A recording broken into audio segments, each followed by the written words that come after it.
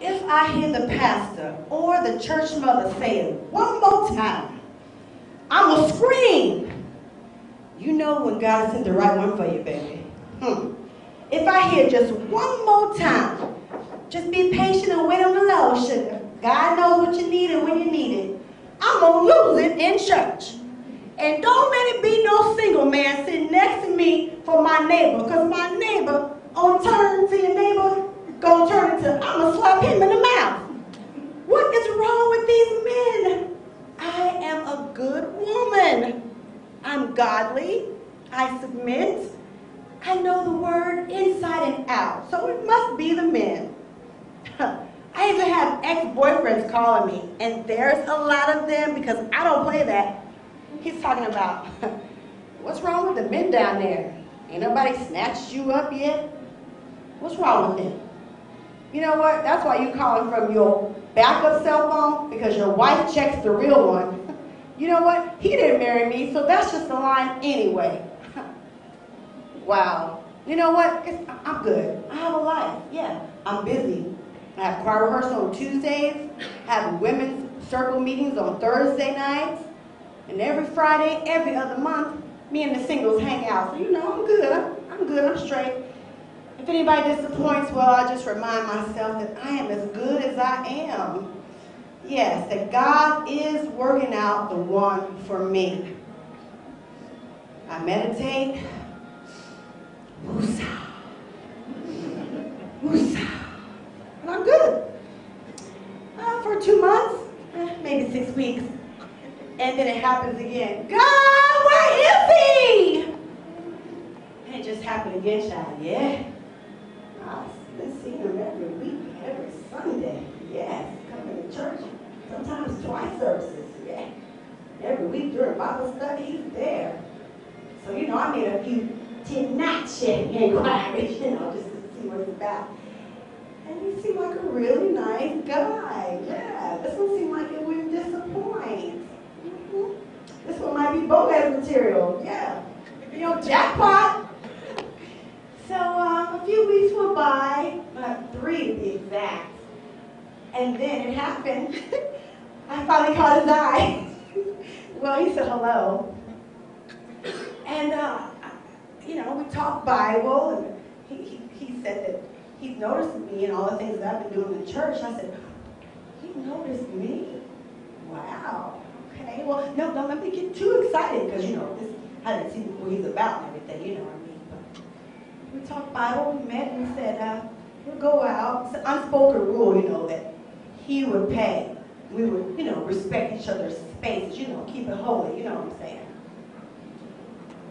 Child, if he was not the biggest freak, I mean, by dessert, he was already talking about his favorite position. I was shocked. I didn't know how to take this guy. I mean, I'm embarrassed to say it. I did a background credit check on him, and you know, it seemed to be all right. but I did not see this one coming. Like, what, what am I thinking? What, or do I put the ball back in his court? Or if, if I, is he testing me? Is he, is he wondering what I'm going to say, my reaction?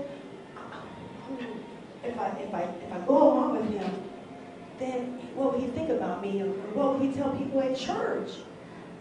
But, you know, if I stand my ground, then, then this is it. God, I mean, this is too much. This is the first date. You know, hell, I might as well be dating on the outside. So you have to understand, every time we had plans and dates, we had an unwritten agreement that you were contributing to the kitty. I've dealt with men like you all my life. I was raised in the church, and I blossomed early. Those two things didn't necessarily go together. I enjoyed the men and some of the boys looking me up and down. It made me feel pretty.